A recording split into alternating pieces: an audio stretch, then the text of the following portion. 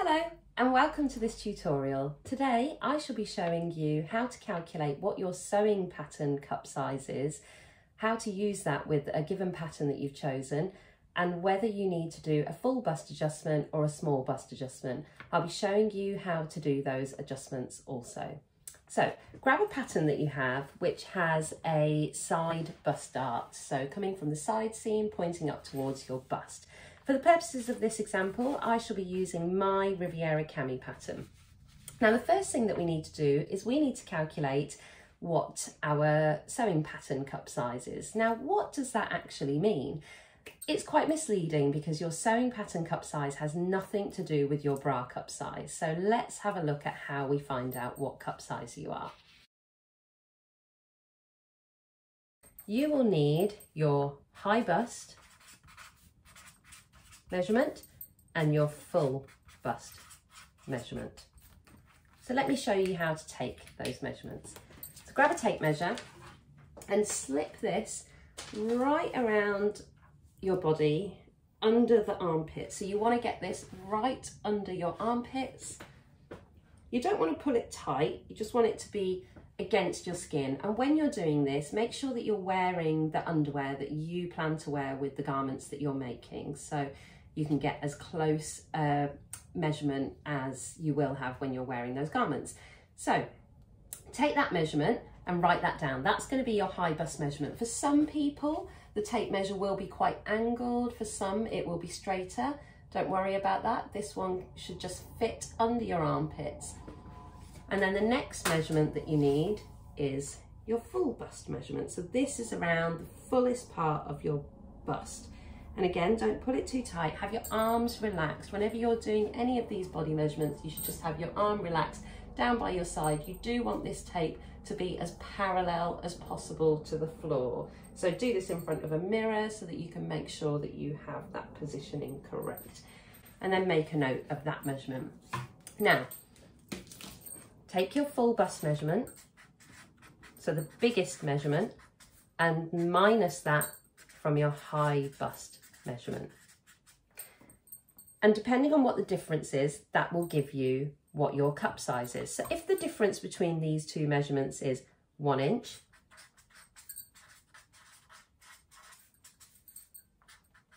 then that puts you at an A cup.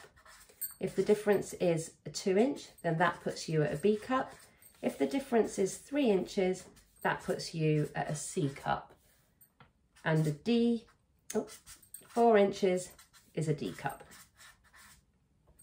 Now the most common is the two inch difference B cup and that's where most of these sewing patterns will be designed. So if your sewing pattern doesn't say what cup size it is or if there aren't any alternatives, assume that it is a B cup, which is designed for somebody who has a two inch difference between their high bust and their full bust. Okay, so now that you've worked that out, how do you work out which size you should make?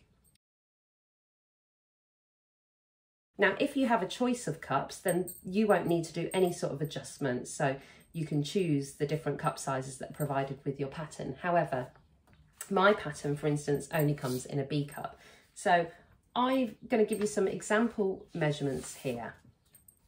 Let's do a working example.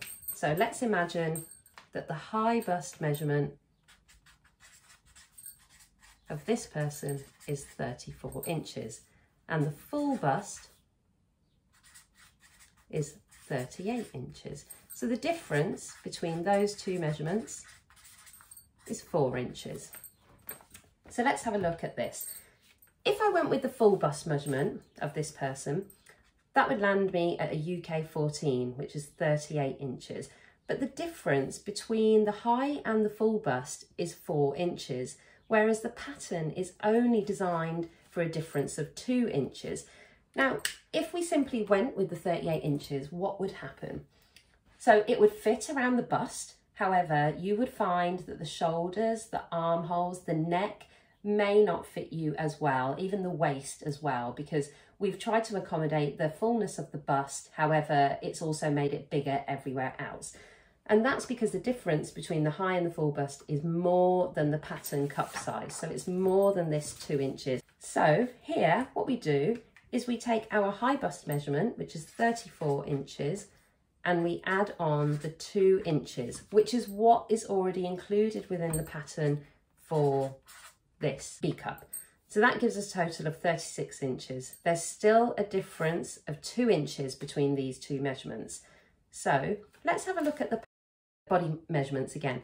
At 36 inches, that would make a UK size 12. So that feels about right. So that means that that will fit around the neck and the armholes and the shoulders, but we still need to add some ease in for the actual round of the bust. Now I'm going to show you, in this case, we would need to do a full bust adjustment. So let me take you through how we do that. Now the first things that you need to do is you need to identify on the pattern which is the size that you want to trace off. So follow your line of the size that you have chosen and let's either trace that out or you can cut out your exact pattern. All you need right now is the front pattern piece. So the first thing that you need to do is you need to calculate where the apex point is on this dart. So find the middle of your dart and continue, draw from the side point here all the way along and just continue this line on a little bit. Now, typically the apex point on a pattern can be anywhere between half an inch to two inches and it all depends on how that particular designer has designed the pattern so you won't be able to exactly know where that apex point is and that's why toiling is really important so these adjustments will only take you so far. Remember that everybody is individual and therefore you may need to do some further adjustments once you've done this. However, by doing a full bust or a small bust adjustment, you will then eliminate the need to have to change the armhole, the shoulder, the neck in every case. This is one adjustment that will hopefully get you closer to that ideal fit. What you can do to work out where the apex point is is you can actually measure your own apex points. Now, what is the apex? The apex is actually the fullest point of your bust and it's the measurement from one side to the other of those fullest points. So you can basically measure from around about where maybe your nipples are or where the fullest point of your bust is and just measure across and take a note of what that measurement is. Take that measurement and divide that by half. Now the reason that we're dividing it by half is because this is all only working on one half of the pattern and that's what we always do in pattern cutting. So in my example, I have worked out that my um, apex points are around four inches. So what you can do to try and get this as accurate as possible, you can measure from the centre front to around four inches and where that actually meets the line that you have just drawn. So there we go. And you can see, just to double check that, that that's actually an inch away from the end of the dart point. So the end of the dart point is not the fullest point on your body. You don't want that to go to the fullest point of your body because otherwise you end up with the sort of more pointy shape like a Madonna-esque fit. Right, so here we go. This is where we are going to put our apex point. Now, down from that apex point, parallel with your grain line, I want you to draw a straight line going all the way down. There we go. And then this is your armhole here. And what I want you to do is I want you to just add in the seam allowance. Now on my pattern, for instance, the seam allowance is one and a half centimetres. You don't need to do this all the way along, just do this along the third, which is the closest to the side seam. And then approximately find where this armhole third is.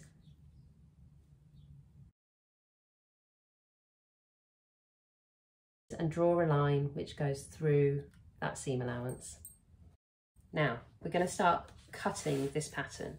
So start from the hem and cut all the way along that line that you drew.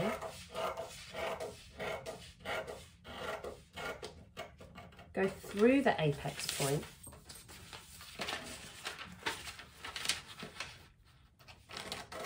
but stop when you get to your seam allowance line and I'll explain why later. And then from the side along this dart, cut towards the apex point, but do not cut through. We want to keep this point, this piece attached. So leave a few millimeters there. And then come from the other side and just cut into this seam allowance area. But again, do not separate those pieces. You want to keep them attached.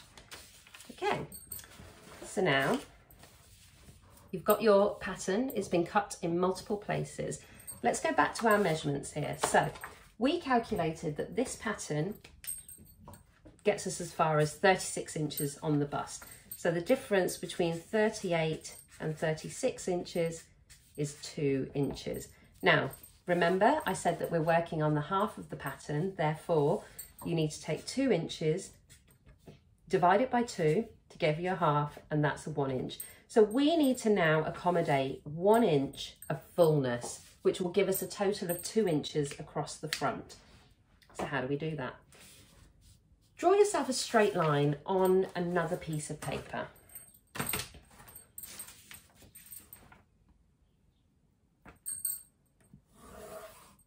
Okay. And then draw another line, which is one inch away from that parallel. So one inch or two and a half centimeters away. And then place your center front pattern piece on top of this line here.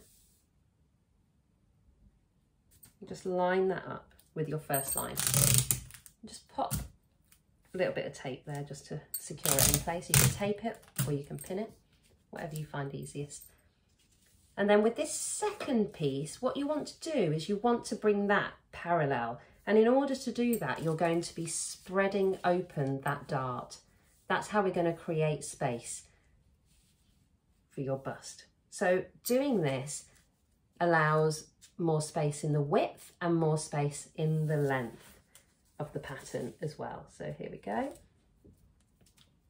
Get that as close as possible to your one inch gap. There you go. Take these pieces down and you can see here at the top of the armhole why we needed to keep that point there attached. So by keeping that attached, the actual length of that stitch line has not increased or decreased, whereas this line has moved. So that's why we needed to add that extra cut so that it could actually pivot. And then we're going to just stick down our little dart end points here. Now you can see here that the bottom of this top has become shorter on the front than the side. So what we need to do here is simply draw a line which is horizontal to your grain line and then cut along there.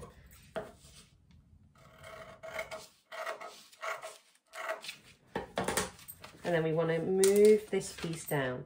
And this is giving you that extra length that you will require to go over the round of the bust. So I'm just putting my pattern master there just to give me a guide of how far I need to move it down so that you end up with a nice smooth curve. So line that up with your straight edge there. And now you can see it's all level at the bottom. You've got a bigger dart and you've allowed for extra space on the front of your body here. So now what we need to do is we need to find the new end of this dart point. So Continue on the original dart legs that you can see here. This is a rough estimate of where this dart point will be. Again, you will need to toile it to see how that sits on you. You can see here that this dart is much wider now, which means that if you were to just fold this like we would traditionally on a dart, you may end up with too much bulky fabric. So you do have an option here. You can add on some seam allowance here and turn this into a cutaway dart. So just add on your seam allowance. In my case, that's one and a half centimeters. And then that would be a cutaway dart. And then I'll show you how to true that dart on the next step. Before we true that dart, you may find that by increasing the space to go over your bust, you've also increased the width at the hem. And if this is a dress, for instance, or something where you don't want as much fullness around your tummy, you may want to bring this in a little bit. So the way that you can do that is we added in an inch along here across the bottom. So you can simply just take that inch there, put a little mark, and you can draw a line with a gentle curve down to that measurement. And then you're just taking that off the side there and it will help to make it a little bit fitted. You know, you don't want to add in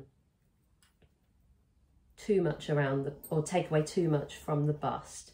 So you can simply just do a nice smooth line there and that will just curve that back in there for you.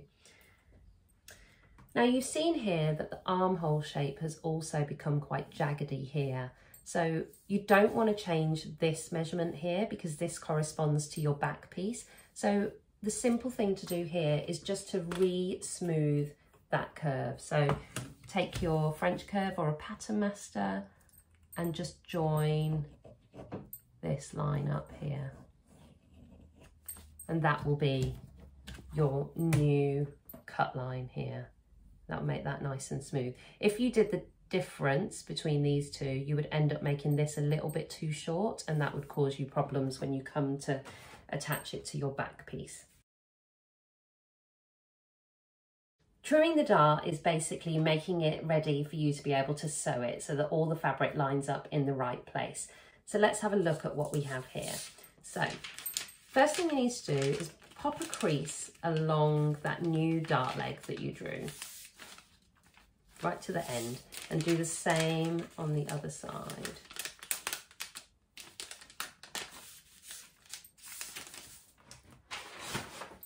Draw a line down the middle of this dart because this will be where you will actually fold your piece of paper. And now fold along that. Now, you know, this is much easier in fabric because fabric is a lot more pliable. But you can see there, we open that out and those lines all match up and you have then created essentially out of a 2D piece of paper your 3D dart. Now, when you do darts, you need to position the fabric pointing down away from your armpit in this particular case. So pop that going down and just check that your lines all match up. Have a look at the front there. They're going to be your stitch lines. You want to make sure that it all matches up. There you go, you can see. And what I like to do is I just pop a little pin there in place. Keep it there. Now you may have a lot to trim off, you may not have very much to trim off. In my particular case here, you can see that there's only a little bit that needs to come off and then that makes that really straight and well aligned to the side seam. Obviously this is the top where I didn't adjust the side. So if you did want to have that curve in there to make it narrower at the waist, you would need to trim off more of your dart. So let's put that in actually, that will help you to see a little bit more what the dart leg could look like.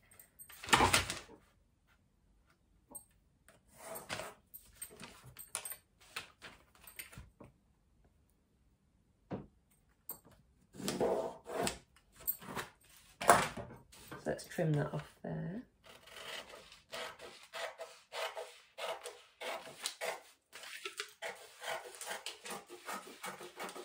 So you can see how much extra we would have of the dart. So you would need to trim that off so that when you sew that, you know exactly where your fabric needs to match up to. There we go. So let's unpin that. And there you have it, your new dart shape So now you have your perfectly executed full bust adjustment. So the next thing you need to do is make a toile so that you can make sure that this feels exactly correct for you. There may be some further adjustments that you need to do, but you're well on your way now to getting a garment which fits you better. So now let's show you if you need to do a small bust adjustment. For a small bust adjustment, you need exactly the same measurements as we did for a full bust adjustment. So we need our high bust and our full bust. Again, I'll take you through a working example. So let's assume that the high bust on this person is 31 inches and the full bust is 32 inches. So the difference between the biggest measurement take away the smallest measurement is a total of one inches. And when we have a look at our sewing pattern cup size chart, we know that that puts this person within an A cup. But we know that the pattern that we're working with is generally for a B cup and that's the average of most sewing patterns. So what do we do? Let's have a look here. The sewing pattern includes two inches for the cup size, but we only need one inch. So what we would do is two inch, take away one inch, leaves us a difference of one inch. Therefore, that means that we need to reduce our pattern across the full front by one inch. And because we're only working on the half, we're going to do a half an inch adjustment. So one inch divided by two equals half an inch or 1.25 centimetres. So that will be the adjustment that we're going to do. Trace off your pattern piece uh, corresponding to the size that you need and let's start by working out where our apex point is. So the apex point is the fullest part of your bust. So find the middle of the dart and go straight through the dart end point. Continue your line on around an inch, an inch and a half beyond that point. To work out where your apex point is. Generally on a sewing pattern, it is somewhere between half an inch to two inches away from the dart end point. And this all depends on how the pattern designer has designed it. So you can actually have a bit more of an accurate guess to make it suitable for you by measuring the distance between your apex points, so the fullest part of your bust, which might be where your nipples are or it might just be the fullest part. So take that measurement and divide that in two. Once you've got that measurement, place your tape at the centre front and then mark where that is on your pattern and where that actually meets the line that you've drawn which is the middle of the dart point. So in this case, I'm marking this at four inches. And generally, as you can see, this is around an inch away from the end of where that dart point was actually originally planned to be. So now that you've created your apex point here, draw a straight line down from that apex point, going all the way down to the hem, parallel to the grain. And then the next thing I want you to do is I want you to add the seam allowance in to where the armhole seam is here. And the reason that you want to do this is because you want you don't want to adjust the actual length of this area when you make your adjustment. Locate approximately the third of this arm and draw a line from your apex point all the way up to the edge there. Now take a pair of scissors and cut up from the hem along this line here. All the way through the apex point and then up stopping at where your seam allowance line is. And then take your scissors and cut from the dart end point towards the apex, but stopping short of that apex point. You don't want to go through. And then do another cut from the raw edge here towards that seam allowance stitch line, but do not cut through. Okay, let's go back to our measurements here. So you can see that we need to do a half an inch adjustment. We want to make this smaller by half an inch. Draw a line on a piece of paper and position your centre front piece along this line.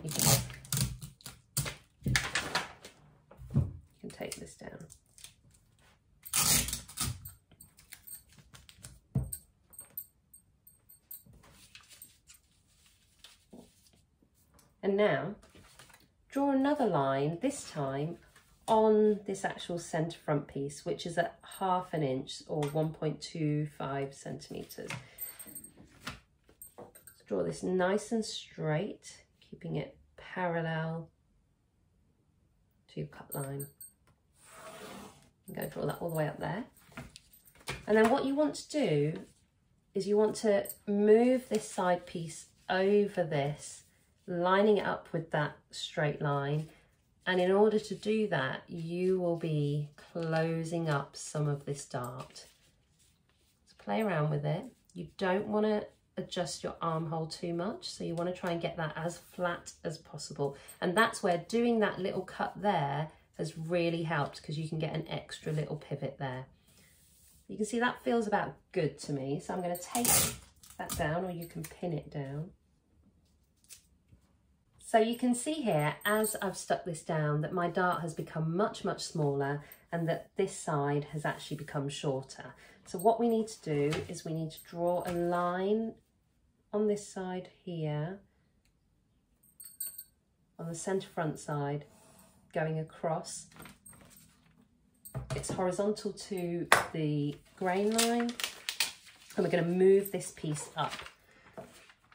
So this way we're reducing the fullness going down over the bust and we're also reducing the fullness across the width. So this should give you a better fit. And now what you want to do is you simply want to move this piece up until your hem lines line up nice and neatly. There we go. So we've reduced some of the length, we've also reduced some of the width here. And again, you can see that there is a bit of a difference here in the armhole shape. So you just need to redraw that curve to the new shape.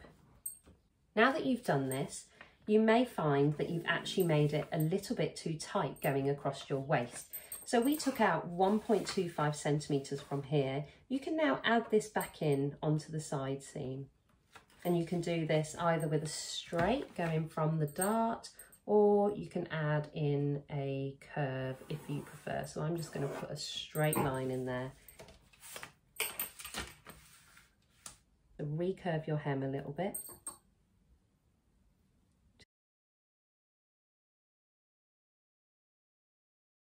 So now I'm going to show you how to true the dart. So I have traced off that pattern because it makes it a lot easier to be able to true the dart. I've left a little bit extra here on the side because we might need that. So find the middle of your dart. So this dart here is three centimetres, so the middle is one and a half centimetres. I'm going to find the middle and draw a line along there. And then I'm going to fold a little fold line in this first dart leg here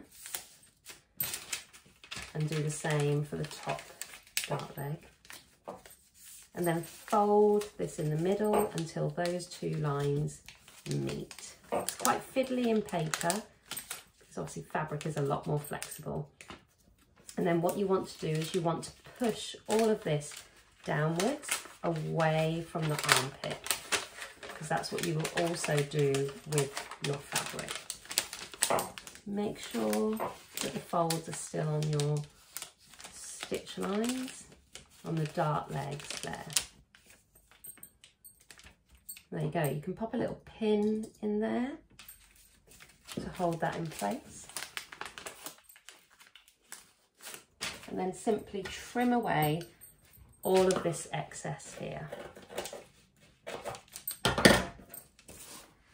Then open that out and there you go. You now have your new dart shape. Thank you very much for watching this tutorial. I hope you found it helpful. I have been Mandi from Make with Mandi. I hope to see you again. Take care.